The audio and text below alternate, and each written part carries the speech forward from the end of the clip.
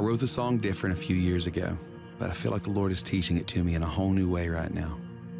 A few months ago, we found out that my grandmother has blood cancer. And as hard as it's been to watch her lose her hair as she takes her treatments, her faith has remained intact. A few weeks later, Hurricane Harvey came for my hometown and in two days poured 44 inches of rain on my house. As we're in the process of replacing flooring and releveling our foundation, we keep waiting on things to get back to normal. And then, just a few weeks ago, we found out that my little brother Daniel has stage 4 colon cancer. After the shock and the tears, my family is preparing to fight by his side as he gets ready to start chemo. And in the midst of all this, the prayer that I kept saying was Jesus, can you just change these things? Can you stop the cancer? Can you stop the storms? But he's chosen not to stop these things just yet. And I'm finding out that sometimes the best question is not, Jesus, can you change these things around me? But instead, God, can you change me so that I can handle the things that you're walking me through? So I keep singing and praying and believing the words of this song because I know that He is changing me. And that is making all the difference.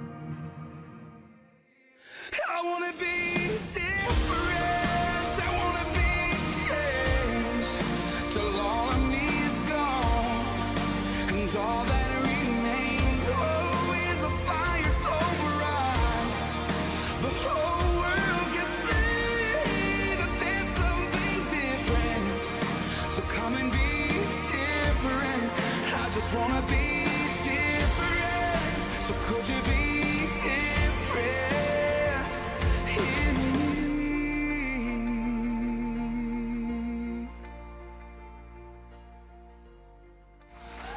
good morning, good morning, church. How's everybody doing this morning? Good, good. How, are you feeling? How's my fasters doing? Everybody doing all right with your fasting? Uh, boy, it got real quiet there all of a sudden, right? Yeah, I had a few of you say, "Yeah, I'm uh, making some pretty." Had, some, somebody told me they had cramps this morning because they weren't eating stuff and they had cramps. Anyway, hey, we are dead in the middle of 21 days of prayer and fasting, a week in, and uh, we really want to challenge you guys to push in. Uh, God's God's going to do some some mighty things as, as we push in and get rid of things of this world. So, welcome. If you're glad uh, glad you're here. If you're here for the first time, if you didn't get an experience guide, ushers have them. They'll be happy to bring it to you. Just raise your hand. And uh, again, if it's your first time, welcome, welcome. There is a connection card inside of there that I would love for you to fill out and mark that you're a first time guest. If you're a first time guest, one of the things I usually get asked by first time guests is, I never saw the buckets get passed for like tithes and offerings. We don't do that. We've got boxes. There's one at each aisle and one over here on this side. So if you want to put your tithes and offerings in, that's great. If it's your first time here, please don't feel compelled that you have to give. We're just glad you're here. But here's what I do need you to do. For those of you uh, that are a normal part of Church of the Lakes, I'm going to ask you to do something special today. So if you don't have a connection card and you don't normally take notes, you might want to raise your hand right now and grab one of those because I'm going to ask everybody to do something for me. So here's what we're going to do I need you to do two different things with that connection card. One is put your name on it. The, the next one is, is I need two pieces of information. And here's why. One is put your email on it. Yes, maybe we have your correct email. Just do it anyway to make sure. And the reason is, is Lizzie is very soon going to be sending out year-end statements of giving. So if you gave last year and you want to make sure that we get it to you in a timely manner, we need to make sure we have an updated email address. Okay, so put your name, put your email on there. Here's the other thing. Really excited. We are launching a brand new ministry here at the church. Uh, so excited to have Pastor Doug and his amazing wife, Miss Dawn, on staff with us. And so Pastor Doug's going to oversee this, but it's called Love in Action. And love in action is this, is we're just going to take care of each other. Uh, we, we want to be a church. When I read the church, it talks about how much they took care of each other. You read that in Acts, right, where they served and they took care of each other. And I got to be honest, I haven't been in a whole lot of churches that have done that really, really well. They do it kind of okay, and we sort of do it sometimes through small groups, or you know, we try to organize different things. But we have put together a team to create this thing called Love in Action. And here's what it is. We want to know if there's something going on with somebody in the church, if they need some help with something, we want to be able to respond quickly and have the saints serve and help each other, right? So we organized a team of people that are going to work on the administrative side of this. And what we're going to do is we need to know your skills. So that's what, I, that's what I need you to put on there.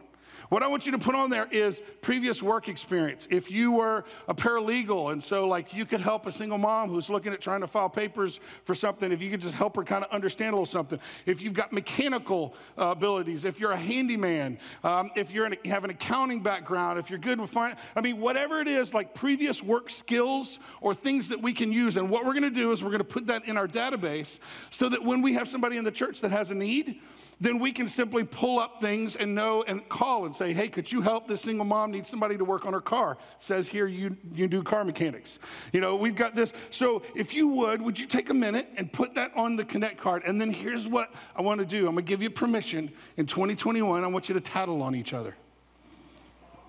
Okay? And here's what I mean by that. What I mean by that is very seldom is somebody going to raise their hand and say, hey, I need some help, right? Like whether it be pride or whether it be just kind of maybe embarrassment for what you're going through or that kind of thing. Very seldom does somebody do that until they're pretty in desperate need. What I want you to do is we're going to tattle on each other. In other words, if you see somebody and they're, they're, they've got a wheelchair, but their wheelchair ramp is kind of busted up, then tell us right? Send us an email at the church. Let us know, hey, so and so could use this work.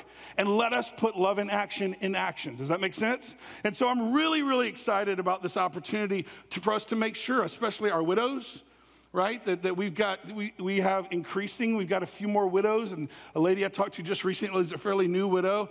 Uh, it would be amazing to know that, you know, what her husband did for her last year, that maybe somebody would show up at her door from the church and take care of for her this year. Amen?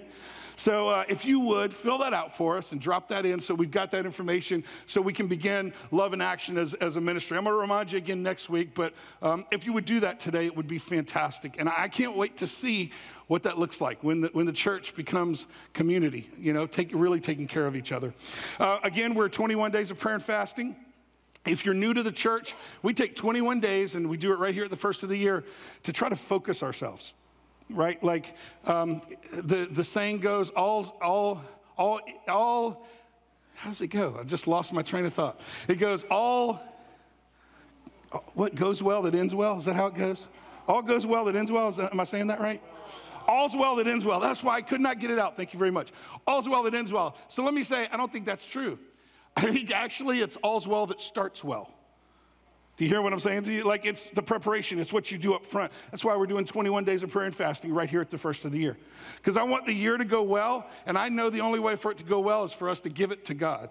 Is for us to put it in His hands. And so that's why we're doing that. So if you're new and you want to jump in and, and, be a part, you can still get one of our guides for 21 days of prayer and fasting. And then I'm on every morning. You get to see my wonderful face on your screen. If you want to join us live on Facebook at 5 a.m. Where are my 5 a.m.ers? Yeah, yeah. Like I was so amazed this week because we averaged probably 18 to 20 people every morning at 5 a.m. So kudos, like that's the most people that have ever gotten up at 5 a.m. And uh, for the rest of you, hey, it's cool that you do it later. I mean, Jesus just loves you a little bit less, but that's okay. I'm kidding. I'm kidding. It's a joke. It's a total joke. Hey, listen, it's there all day, and then it's also on YouTube.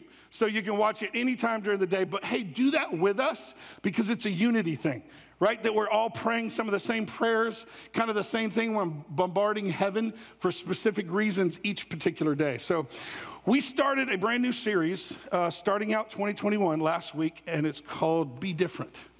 And um, man, our teenagers and some of our adults did an amazing creative dance for us last week, right? So got to give some props to them. And, and, and the idea was, I just want something different. Does anybody else ever feel that way? You ever, you ever, like just get to the point where you're sick and tired of being sick and tired? You know what I'm talking about? Like it just, I, I, I want, I, I want more. And I know, and I say this to you, God has more for you. He has so much more for you. So I had prepared a teaching um, that was for this week, and then Wednesday happened.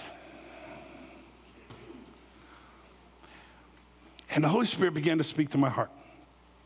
And I changed the whole teaching today because of what happened in our nation's capital. Because what you saw, and, and, hear me, listen, this is not a political statement, so get off of your political grandstand for a moment, okay? And just hear. Violence with people, every once in a while, a Boston Tea Party is necessary. But most of the time, violence is just violence. Whether it was this Wednesday or events in our previous months as well, through other organizations and other people. Are you hearing what I'm saying to you? And, and what the Holy Spirit began to say to me and talk to me about over the last couple of days, and what I want to talk to you about today is we need a different, everything is different that we're talking about, be different. We need a different attitude as a nation and even as individuals. I think our attitude has gotten skewed and twisted. Whether it be because we watch too much CNN or too much Fox, Wh- whether it be because we've gotten confused about gender issues and COVID and do I wear a mask? And now the new one is do I get vaccinated? Do I not? I heard somebody died from it. Ah, ah, right? The chaos. Do you know what the chaos I'm, I'm, I'm talking about? I talked to somebody just a couple days ago, and she was talking to me about posting online and like the struggle of that, and should I do it, and should I not do it, and is it worth? And we were talking about like the idea of, you know, if you do it where it's going to make a difference, then maybe it's valuable. But if you're doing it and your little bubble of friends are the only people that read your rant, does it really make a change? Does it really make a difference? Like that's the idea. So I want to talk to you today because here's what I know a nation changes when individuals change. And I'll tell you, 100% of what you have control of right now is sitting in your seat. And if we will look in the mirror and stop looking everywhere else and pointing fingers, if maybe we would look in the mirror and say, you know what? I want revival to come to America. Anybody? Amen. Anybody? Anybody would love to see just a great awakening sweep across our country? How about we do this? How about we just bombard God asking Him to bring revival and awakening? And we draw a circle, step in it, and say, Start here.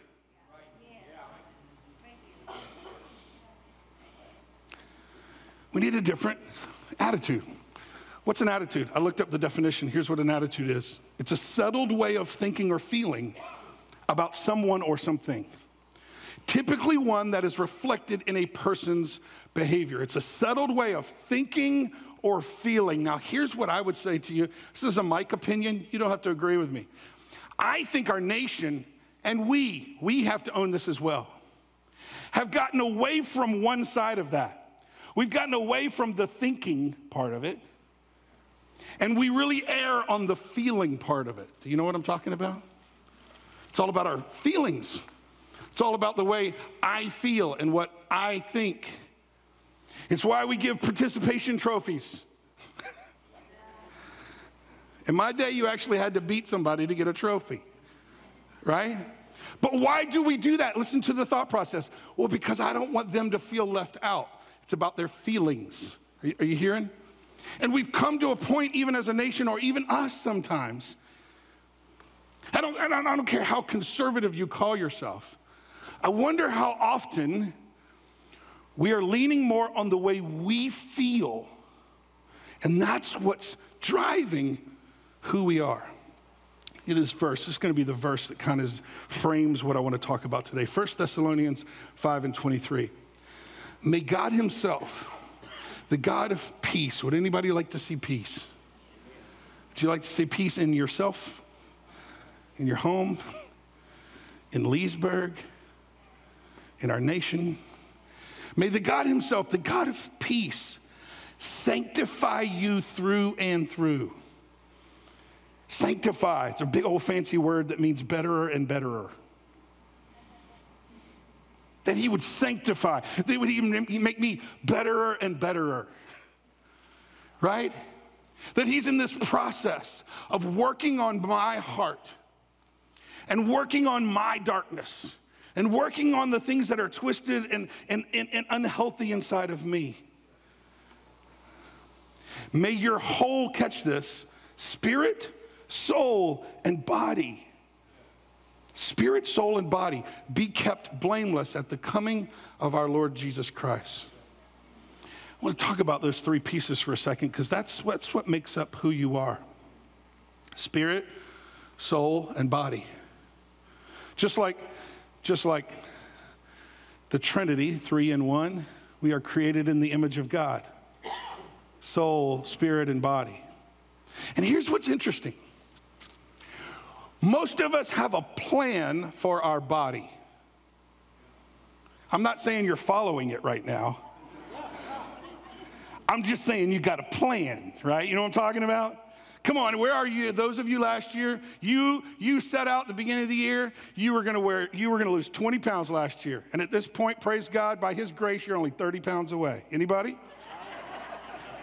You know exactly what I'm talking about, right? But listen to me, most of us have some kind of a plan. Maybe your plan is the buffet, but it's still a plan. But then we have our spirit, our spirit man, our spiritual side. And you're not at church because you don't think there's a spirit side. Most of us have a thought or some kind of an idea or a plan of how we deal with our spirit right? How, how we deal with that part of us. We have a plan here at Church of the Lakes. Most of you know it. I'll say it again just to remind you. Our plan is that you would know God, right? That you would have a personal relationship with Him, not a religion, but a personal relationship with Him. That because of that relationship, you would begin to find freedom, that you would get past your past. We just sang that, right, in one of the songs. That then, after you get past some of your stuff and your baggage and all, that you might begin to discover purpose so that you can make a difference. Know God, find freedom, discover purpose, make a difference. That's our plan. That's what we do in Life Steps. If you haven't been through Life Steps, you need to come join us. We got Life Steps today. For those of you who are new, today's the perfect one. I'm going to talk about who we are, what we do, how we're structured, who I'm accountable to, how we deal finances, all that kind of stuff. Right after church, come to Life Steps. Because we want to take you on that spiritual journey. So, most people have some sort of a plan or idea of what they're doing with their body and with their spirit. What about your soul? What is the plan for your soul? Because we all hear about what this pandemic is doing to our bodies, right? We got all kinds of different, you know, you got this and masks and not masks and vaccines, and some people are affected this way and ventilators. And I mean, we got all that stuff just running through our head. We got an idea what this pandemic is doing spiritually. We're having a hard time having churches gather together, right? So a lot of churches are struggling a hundred times worse than Church of the Lakes. We are so blessed. You should thank God every day, right, for where we are, and that we're allowed to sit here and be here and not have to have some civil disobedience to our governor or whatever. You understand what I mean? Like they're doing in other places. So we see what the pandemic. I think this is this is Mike's opinion again. I think what we're missing is what this pandemic is doing to our souls. There's a term, I hate it. With, with, I think it's a lie from the depth of hell. And it's this. You ready? I wonder if you've heard this lately. It's unprecedented. Anybody heard that phrase lately? Do you know what the Bible says in Ecclesiastes? It says there's nothing new under the sun. This is not unprecedented. We've had pandemics, and sorry, no offense to anyone, I'm not arguing politics with you, but a lot more people died in a lot of other pandemics. Right? We, we, have, we have seen these things because the pattern of sinful man comes back. So listen to me do not let those words keep you in a state of panic. That's what those words are doing to us as a nation. Oh, it's unprecedented. We never dealt with this before. Oh my, right? Fear. Listen to me. Ecclesiastes says there's nothing new under the sun. Nothing has happened that has made God come up off of his throne and go, What am I going to do? Nothing. Nothing. We have a plan for our body, we have a plan for our spirit. What about your soul? Every time I go to counseling, because I have a counselor who's Pastor Ron, who's one of our overseers, who has care for pastors that you support through your missions dollars. There's a question he asks me every time I see him. He looks me straight in the eyes and he says, How's your soul? How's your soul? So let me ask you, how's your soul? This week, I had the opportunity to see the state of my soul. I'm not going to describe the scenario, but I'll just tell you this. I completely lost my temper this week. I was in a scenario, and I mean, I lost my temper, like rage lost my temper. And my wife was standing right next to me. And when I finally kind of calmed down and went, What the heck? Why are you freaking out? And I looked at her and I went, Honey, I am so sorry. And she said, I haven't seen that in you in a long time. And I think God gave me that moment just because I'm doing this this morning, right? To say how often we think our soul is in a healthy place and we put on our spiritual masks. But let me ask you to be raw and real with yourself, if no one else right now. How is your soul? Because if the eyes are the windows of the soul, listen to me, the emotions are the voice of the soul.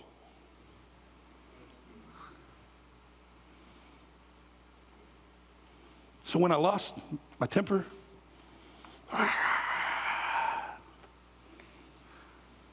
was the voice of a soul that's still got some stuff rattling around inside of it. It hasn't been addressed or hasn't been dealt with. Are you, are you hearing what I'm saying to you? If we're going to have a different overall attitude, it's going to be because we have some soul care. We take care of our soul just a little bit, right?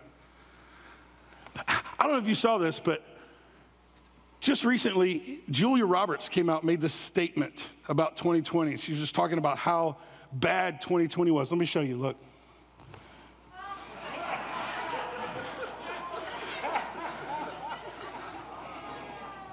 That's funny. I don't care who you are. That's funny. I just knew we were getting kind of heavy. I knew we were going to need a laugh about right there, okay?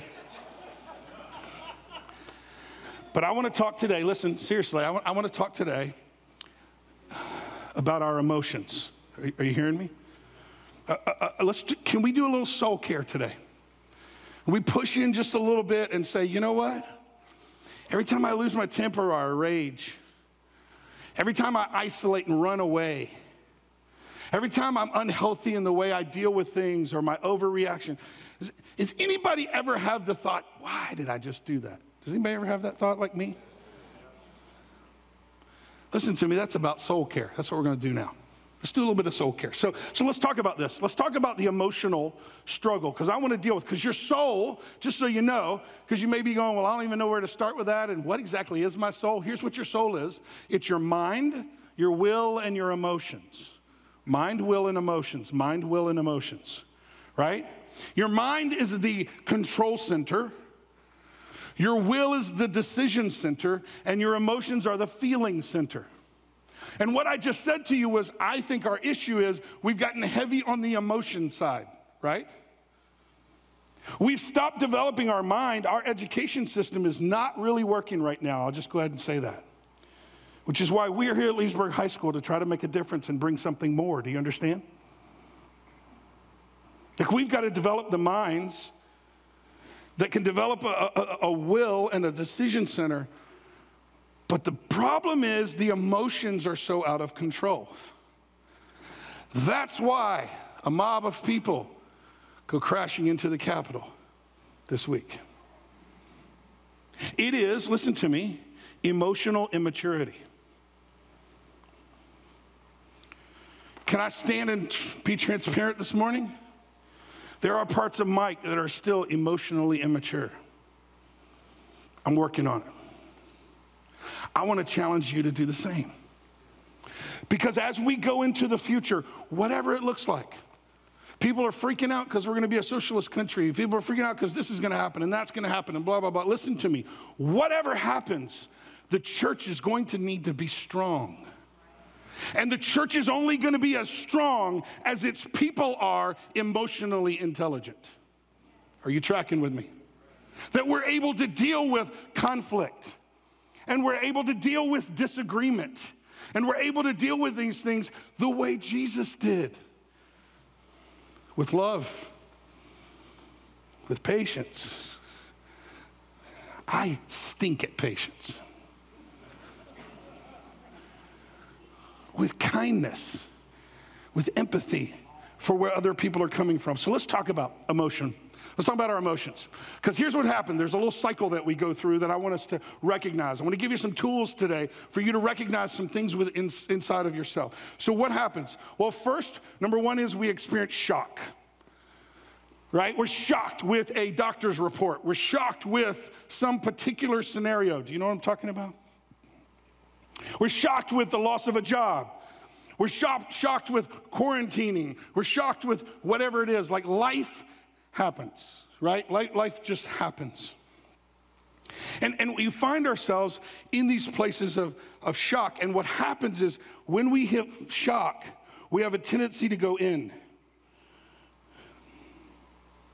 There was a pastor back in the 1800s during, a, during an epidemic, there was a cholera epidemic, right, in 1854. It was a little unknown pastor, so be like Mike, you know, pastor of a small, small town church, not a known name or anything, but this pastor, what he was dealing with at that time, he was doing a funeral every day because of the cholera breakout. So every day was a visitation with a family. I did a funeral yesterday. It's amazing how God always has me do things that help me to understand what I'm trying to express and teach to you. And so I, I did a funeral just yesterday. And, and, and every day he did that. And I thought, golly, what is that like? Well, this particular pastor became known as the Prince of Pastors. His name is Charles Spurgeon. Some of you might have heard of him. But, but I want to tell you what, what he went through because he was returning one day from yet another funeral, right? Just another moment. And he looked over, and there was a shoemaker's storefront. And in the storefront, there was a piece of paper. And on that piece of paper was a verse. And the verse said this. Now, this is in Old English, but I'll translate it so, sort of in a moment. It said, Because thou hast made the Lord thy, thy habitation, there shall no evil befall thee, neither shall any plague come nigh thy dwelling. Let me say it again with a modern translation. If you make the Lord your refuge, if you make the Most High your shelter, no evil will conquer you, no plague will come near your home. Spurgeon read that, and in a moment, it changed something inside of him. Here's what he said The effect upon my heart was immediate. Faith appropriated the passage as her own. I felt secure, refreshed, girt with immortality. I love that. Girt with immortality. I went on with my visitation of the dying in a calm and peaceful spirit. I felt no fear of evil. I suffered no harm. Did you hear that? Listen to me, his situation didn't change, right? He said, I went on with my visitation to the death. He was going to the next funeral to plan the next funeral for the next day, and the next one, and the next one. It was all the same. What was the change? The change was inside of his soul right? The change was a grasping of the emotions that had taken over, and we all feel that. And what happens is, if shock goes long enough, we get kind of to the next stage and we feel sorrow. Now, let me say this to you shock and sorrow are a normal part of living on this earth. Shock and sorrow are going to happen. We say it this way, we've said it this way since we started the church. If you're not in a storm, either you're between storms because one is on its way people go, oh, I'm so glad I came to church. Could you be more positive, positive, Pastor Mike? Sure. I'm positive that you're either in a storm or one is on the way. Listen to me, that's just, that's a part of life. We're sinful people, surrounded by sinful people in a sinful world, right? Shock and sorrow are, are, are a normal part of life. Sorrow is a normal and even healthy part of dealing with the reality of this life. It becomes a problem, listen to me, it becomes a problem when sorrow begins to overcome us. When we allow sorrow to change the core of who we are or the focus of our lives. Even David felt it. Look at Psalm 61 and 1. Hear my cry, O God. Attend to my prayer. From the ends of the earth, I will cry to you when my heart is overwhelmed. But what does he do? Lead me to the rock that is higher than I. You hear the, you hear the turn? You hear the turn that he took? And if we let sorrow overcome us, then we find ourselves in the last stage. And the last stage is this we begin to struggle. Struggle. What do you mean we begin to struggle? I'll say it to you this way we begin to medicate. Because of whatever struggle is in our life, we find something to make ourselves feel better. It might be as simple as Netflix binging. Come on. You thought I was going to say alcohol or drugs, didn't you? It might be shopping. Oh, here we go. It might be outbursts on social media. That that's the way I'm dealing with my sorrow. That somehow I think that that's going to make some kind of a difference or whatever, and that gives me some temporary moment of pleasure and feeling like I just accomplished something. Wow, 17 people read what you wrote. Come on. Like, let's, let's be real for a second, right? So we medicate. When we are struggling, we have this tendency to isolate, and the enemy loves to get you isolated and on your own because you will now go into a cycle a cycle of ruminating and medicating ruminating and medicating. What is ruminating? I think about it over and over and over. Does anybody anybody anybody been there? You just can't let it go. I can't go to sleep. I can't this somebody needs to pay for this. These idiots don't know how to think. I'm going to ruminate and then I'm going to medicate. I'm going to do something to make me feel better. And all we're doing, listen to me in that moment, is struggling. Nothing's actually being constructively accomplished. We're just struggling through the moment. Jeremiah 20 and 18. Even Jeremiah, who was a prophet, had the same feeling. Why did I ever come out of the womb to see trouble and sorrow and to end my days in shame? This is what Jeremiah wrote. I love the Bible because it's so real. You understand what I mean? All the characters, they felt what you felt. They've been through what you've been through. The, the Bible is not some like pie in the sky thing that's not reachable. They're all just as real. Even Jesus, listen to me, uh, hung on the cross and said, My God, my God, why have you forsaken me? Isn't that the question we get to? Why? Why? And I want an answer. And I want an answer right now. Like, what? what, what oh, I'm posting. Right? Why did, why did they do this? Or why are they doing that? How come that? I'm making, I'm sending a text message. and we've got a little keyboard courage. You know what keyboard courage, right? That you'll say things that you would never say to that person's face because you're really a big chicken liver. Listen to me. God has a plan for each one of our lives. And He has never experienced shock. He's never come up off his throne and gone, oh my gosh. But you know what Jesus has experienced? And that is sorrow. He was described as a man of sorrow, right? And so, what God wants to do is, He wants to meet you at those places of shock and sorrow because there's a normal part of what we deal with and a normal part of what we go through. And He wants to build something inside of you, something strong, something sturdy that can deal with the craziness of this life. Right? I, w- I was saying it to the worship team. We were talking before service. and little Caden was down here, and I'm trying to talk, and I'm all like serious talking to the worship team like this. And here's the baby, right? And it's one of the happiest babies on the planet right? If you see this baby, and he's like, like he's looking at me, going,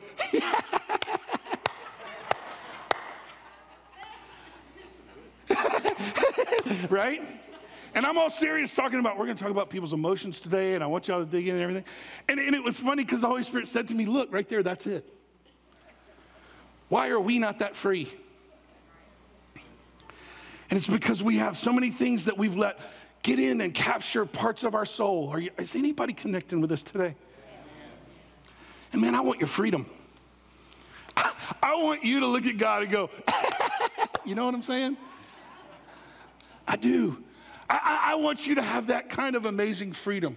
So let me end today with giving us some practical. What can we do to work on soul care a little bit? Let me go to Matthew 7 24 says this, and this is from the message, just so you know, the message is a paraphrase. It's not actually the Bible. It's someone who paraphrased the Bible and put it into different words that we can understand uh, in today's language. So it says this in Matthew 7 24 in the message These words I speak to you are not incidental additions to your life. Stop. I love that statement.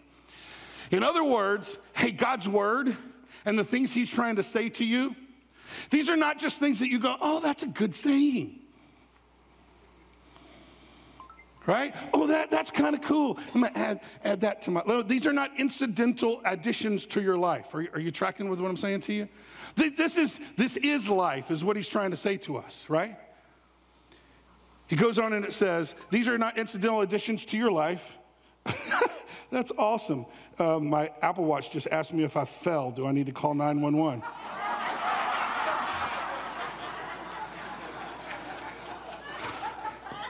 I broke my hip. I fall. No, I'm just kidding. See. Sorry, I didn't mean to mock anybody. My mother in law fell last week, so that's not too funny. But anyway, the word I speak to you is not incidental additions to your life. Listen to me home improvements to your standard of living. This is not to increase your standard of living. They are foundational words, words to build a life on. If you work these words into your life, you are like a smart carpenter who built his house on solid rock. The rains poured down, the river flooded, a tornado hit, but nothing moved the house. It was fixed to the rock. Doesn't that sound good? Let me ask you something. You want your soul fixed to the rock. You want to be a little bit better at responding to the chaos of this life. I know I do, and I know I need it. So let's build a little metaphor based on this. Because here's, here's what you may or may not know. When I started in ministry, the church couldn't pay me when I started out at South Point, so I started in construction. So I would work construction all day, and then I would come do the youth pastor thing until they could pay me. And so I want to use a little building metaphor to help us to kind of understand how do we how do we work on soul care? How do we build our soul? How, how do we build something solid inside of us so that our emotions don't rule us in all that we do. So I want to talk about three parts of construction. And we're going to use that as a metaphor the foundation, the structure, and the decor. Foundation, structure, decor. Here we go. Number one, the foundation. The foundation, listen to me, of a healthy soul is relationships and connectedness. The foundation of a healthy soul is relationships and connectedness. I'm going to say something for some of you, it's going to sound heresy until you think it through a little bit. That's okay. See, because your biggest issue is not sin, your biggest issue is solitude. Because where do you have a tendency to sin? When you find yourself by yourself and nobody's watching. See, our issue is solitude. You were made for relationship. And the problem, the reason so many of us are dealing with soul care and the struggle of our soul is that we kind of have isolated ourselves from people because of the hurts of this world. Are you hearing me? The first thing that people do when they have struggle in their life is to stop coming to church. That's like one of the first things they pull away from. And I always, it just hurts my heart because I'm like, that's exactly what you need. It's exactly what you need. You need a relationship with God and a relationship with other people to speak into your life. So, hey, guess what's starting the 1st of February? Small groups. Small groups. You need to find a small group. Listen to me. I'll, let me go this far. I'm not trying to pad our numbers in small groups. So go to a small group in another, for another church. I don't care. I really don't. Listen to me. I'm concerned about your soul. I'm concerned about the reality that you need people in your life that know what's going on with you, that know what's behind the mask. Because if you have some kind of secret sin or struggle or thing that's going on inside of your life and you're the only person that knows, listen to me, you're in trouble. a healthy soul, a healthy place. Matter of fact, um, a lot of guys I've helped work through over the years dealing with pornography. Do you know what the number one symptom of pornography is? Anger. See, it's, a, it's an unsettled soul. Are you hearing me? And the loss of temp. And all sin is that way. We can walk through the sin and you see those responses. So, so the foundation, the foundation of a healthy soul, listen to me, is relationship and connectedness. Probably the second most horrible term that we have learned in this pandemic. First is it's unprecedented. And the second one is social distancing. We don't need social distancing. We need physical distancing sometime to be safe. But listen to me, we need social interaction. We need social care. Are you tracking with me? Like social distancing is the last thing that we actually need. We need to connect with God and others every day. Every day. It is the foundation of a healthy soul. We will not have peace or be emotionally stable unless there is a foundation in our life of relationships. First with God, second with others. The foundation is what holds up everything else. Philippians 4 8 9, it says, Finally, brothers and sisters, whatever is true, whatever is noble, whatever is right, whatever is pure, whatever is lovely, whatever is admirable, if anything is excellent or praiseworthy, think about such things. Let's be honest for a second. When you're by yourself, do you think noble, right, pure, love? Come on. No. No, we're sinful, right? We are totally deprived. Left to my own, Mike is a mess, y'all. We, we, we need each other. You need some real relationships. For some of you, that probably needs to go to the top of your resolutions for 2021. It's some good, healthy, godly relationships that will encourage you and push you forward. It says, if you think about those things, the God of peace will be with you. So, not only with God, a relationship with God, and if you don't have a relationship with God, you can start that today, and I'll give you that opportunity at the end of the service. But it's also with other people, Ephesians 4 and 6. From Him, the whole body, joined, held together by every supporting ligament, grows and builds itself up in love as each part does its work. Has anybody ever, like, gone shopping to the mall and seen a pancreas walking around the mall? Anybody? How about a heart? Liver, some guts or intestines? No, listen to me, those are part of a body, and you are part of a body. And by yourself, you're just kind of a weird part. But connected to the body, we play our role, and that's the way we're designed to be. You've got to have relationship and connectedness. So that's the foundation. All right, so let's talk about the structure. Picture in your mind the structure of a house. When you've got the structure up, it's kind of ugly, right? Like it's like studs, you know what I'm talking about? Like it's just the studs, and maybe it's dried in, so it's got Tyvek all the, across the side. Like you're getting a picture, right? Just, just the structure of this. What is the structure? The structure of a healthy soul, listen, purpose and routines. Purpose and routines. Purpose and routines. Some of the things that we looked at as purpose have been stripped away from us. Maybe you lost that job you had. Maybe it wasn't such a bad thing because maybe that's what you were leaning on for your purpose when God has something different and more for you. Like, let me just say this to you some of the things that we have lost, maybe that was actually God at work bringing us back to a place of understanding what really matters and what really has meaning. What is the purpose? Jeremiah 29 and 11, you've heard this verse. For I know the plans I have for you, declares the Lord plans to prosper you, not to harm you, plans to give you a hope and not a future. The problem is what it says in, in Proverbs 29 18. Where there is no vision, people what? Perish. So, an unsettled soul somebody who's just fighting anger or fighting whatever. Could be somebody who doesn't have relationship with God, doesn't have connectedness with healthy other people. But it could also be this part of it that I, I don't really know why I'm here. If, if that is the thought in your, in your soul, let me ask you what your attitude is going to be like. Right?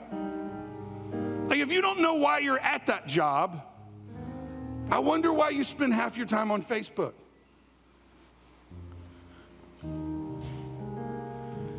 Because I, I, I, don't, I, don't, I don't feel purpose. And it's the routines, and the routines of our life are the things that we're doing that are taking us to where we want to go. And sometimes we get to the place where we look at our routines and go, I don't, I don't know why I'm doing this. I don't know what. And listen to me, God wants to speak to you vision. That's what we do in Life Steps. Let me invite you again to come join us. But let me give you a different version of Proverbs 29 18. This is just a different version out of the NIV. It says, Where there is no revelation, understanding, vision, understanding, people cast off restraint. Like if I don't know where I'm going, I don't have any reason to have any boundaries about anything.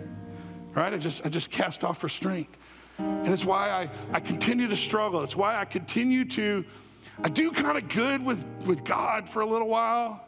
And then next thing you know, I find myself back at the club or hanging out with those friends or all of a sudden my mouth gets all kind of potty mouth again because of who I'm hanging out with, right? If you struggle with the kind of flip flop thing, and we all do that somewhat, like, please don't hear me judging you at all because I do it too. But if you juggle with that, it's, it's a soul issue. Are, are you hearing what I'm saying to you? It's a loss of purpose and healthy routines. This is why we have a quiet time. This is why we're doing 21 days of prayer and fasting. This is why we've got to get into God's word because we're doing routines that take us towards a particular purpose. For every one of you sitting here today and you go, I don't really know what my purpose is. I would say it to you this way I think you're overlooking the obvious. You got kids? Purpose there. That you might raise up Christian households to take on the next generation. Come on. You got grandkids? You got a part to play there. You got a neighborhood that God has put you in? He put you there for a reason. Maybe you should get to know your neighbors' names. Listen, listen. You've got to start seeing purpose in where you are. You lost the job. You got that doctor's report, that shock came. Didn't shock God. Matter of fact, I think God probably went, watch this. Watch what I'm about to do. Because He's always working, y'all. Are you hearing me? And He's good. He's really, he's, he's really good. We have to frame the house of our soul with focus of true meaning and purpose. So I've got to to discover my purpose and make a difference. That's part of the vision of what we do here. So the foundation is relationships, connectedness. The framing or structure is purpose and the routines that come to create that purpose. And third and lastly is the decor. What's the decor? That's the pretty stuff, right? That's like once we get done with all the ugly stuff, then we get to put down that really cool wood flooring, right? Rebuild that deck, hang this picture here, splash wall, accent wall there, right? Make it all nice. What does it look like for your soul, listen, to get decorated, if you will? It's going to take two things it's going to take trust and self control trust, and self control. I loved it this week. I loved, I love when I get an opportunity to brag on my staff. I loved it this week because most of you guys know Eden. Eden is our youth, our youth director. She does Thrive and all. And when Eden, when I asked her to come on staff, she took a pay cut to come on staff. Like she was at a job that she wasn't making that much money anyway, and she took a pay cut to come here. You know? And you might think, well, that's kind of crazy because you got two small kids and y'all are trying to figure out just bought a house and all this kind of stuff. But it was so fun this week when Eden came to me and we were talking about Thrive, and she talked about this one particular kid. I won't say his name just for confidentiality. But he started talking to her and he said, You know, I never had a dad to teach me how to throw a ball. And he just, all of a sudden, like Eden was reading a book, she said, and this kid just starts talking like deep, right? So she shut the book and turned to this kid and started listening. And he, and he, and he said, Yeah, you know, my dad did something inappropriate to somebody, so now he's in prison. And Eden said she just sat there and listened to this kid and thought, This is why I'm here. Like, this is purpose. This is why we'll deal with whatever paycheck the paycheck looks like. Are you hearing what I'm saying to you? Like, like when you start to understand and trust that God has you where you are, and you have the self control to stop chasing the stuff of the world and come back and say, God, what do you want me to do, no matter how crazy it sounds? No matter what it looks like. Some of you here, I don't know, maybe this year God's going to call you to be a missionary in Siberia. Negative 76 degrees. I'm praying that God does that to someone else. I'm kidding. Listen to me.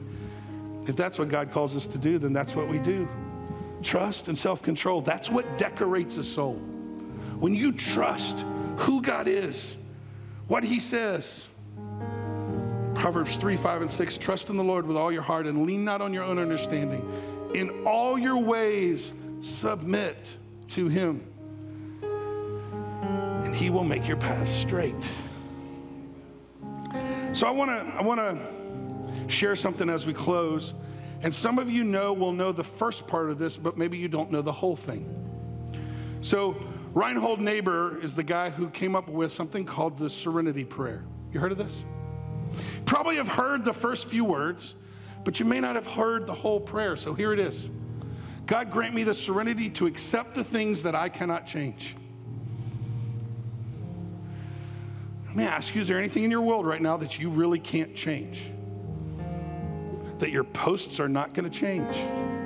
It's going to change some of your relationships because you're ticking people off. But it's not really making a change, right? So, so, God, give me the serenity to accept the things I cannot change, the courage to change the things that I can.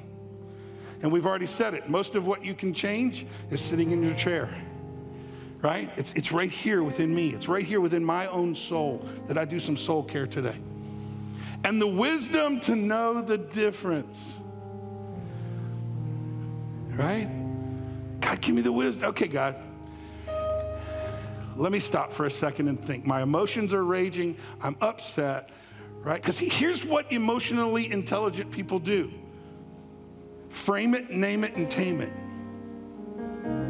When that emotion comes, I frame it. I go, okay, whoa, whoa, whoa, whoa. This is one situation. This is not like necessarily going to end the world. So I'm, I'm going to put some boundaries to this thing and frame it. Then I'm going to name it. What emotion am I feeling? And why am I feeling it? And then I'm going to tame it so that I don't react. And res- you know that I react in such a negative way as I typically do. Anybody else? I, I'm a re- reactor. I'm like a nuclear reactor. Come on. Anybody? God, give me the wisdom to know the difference. What I can change and what I can't change. You know that, but let's keep going with this prayer. Living one day at a time, enjoying one moment at a time, accepting hardship as a pathway to peace. Do you hear that? Accepting hardship as a pathway to peace. Maybe what you're going through right now is on purpose because it's taking you somewhere else. It's taking you to a place of peace. Taking, as Jesus did, this sinful world as it is. It's a sinful world, it's messed up. Why are you so surprised when people are stupid? Right? Sinful. You're sinful. Mike looked like a fool this week, blowing up. We do these things to each other. So I take it as Jesus did, this sinful world as it is, not as I would have it. Come on, where are my other control freaks in the house today? Okay, right? Not as I would have it. Keep going. Trusting that you will make all things right if I surrender to your will, so that I may be reasonably happy in this life. I didn't write this, this is his words, but I actually kind of like that. Because I think the prosperity gospel has sold us something that's not real. Pure bliss and happiness is not going to happen on this planet, y'all. That's called heaven. Are you hearing me? But we can say, hey, God, let me get to a place where I'm reasonably happy. Shock and sorrow are still going to come, yes? But if I've, if I've got soul care, if I've taken care of what's inside of me, I'm going to respond to it in a healthier way. I'm going to still find myself at, at peace. To be reasonably, reasonably happy in this life and supremely happy with you forever in the next. Amen. Isn't that good? So here's what I'd like to do. Lizzie's going to put it back up for me. And I want you to pray it with me. And, and, and, I, and I'll read it, and we can just kind of read it slow, but can we pray this prayer together today? And maybe you do a little soul care and consider what emotions that I'm letting control and rage inside of me. And I've got to lay the foundation of relationships, I've got to have the structure, right? I've got to have that in place. So let's pray this prayer together. God, grant me the serenity to accept the things I cannot change, the courage to change the things I can, and the wisdom to know the difference.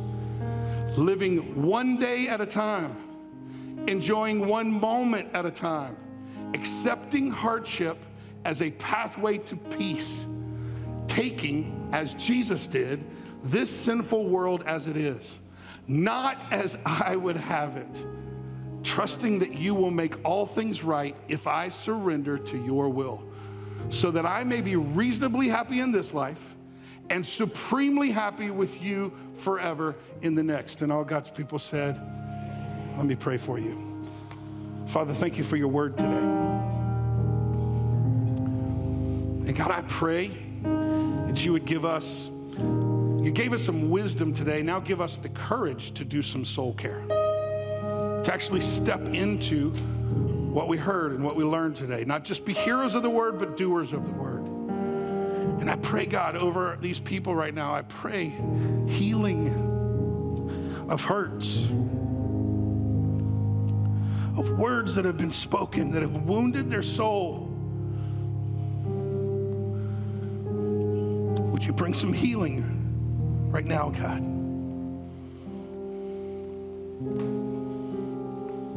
Give us strength to trust you. That as we build relationship with you and others,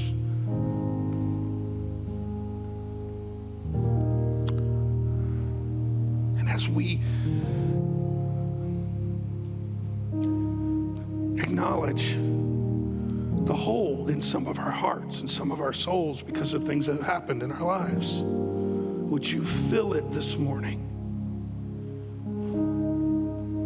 that we might find our purpose and our meaning in you and begin to build our routines around that purpose while we are trusting you, walking in self control. Build our souls, God. Ask it all in Jesus' name. And all God's people said, Amen. Amen. We're going to sing Moving Forward one more time. And I'm hoping maybe it'll mean something even a little bit more to you. As you sing it now, as you know what, God? I'm not staying where I was. I'm doing a little bit of soul care today. Meet me in this place as I move forward. Let's sing.